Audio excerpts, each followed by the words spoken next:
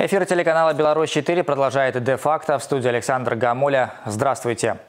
За проводкой надо смотреть, а электроприборы использовать по назначению. Нарушение правил эксплуатации едва не привело к гибели мужчину из деревни Грабовка Гомельского района.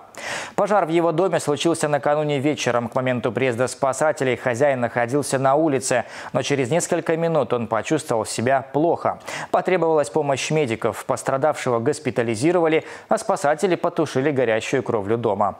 Не так страшен лось в лесу, как на дороге. На белорусско-российской границе легковушка сбила Сахатова. Животное перебегало трассу и попало под колеса автомобиля Toyota Camry, в котором находились мужчина и женщина.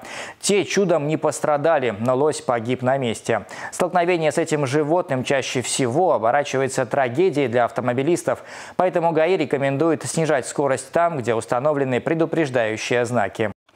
И в завершении выпуска кража солярки. Практически каждую неделю кладовщики и аграрии попадаются на хищение дизельного топлива. Дежурство на дорогах ведет ГАИ.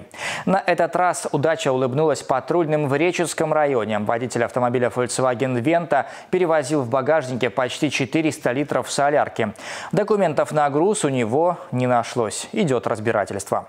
Таков обзор происшествий за сегодня. Оставайтесь на Беларусь 4.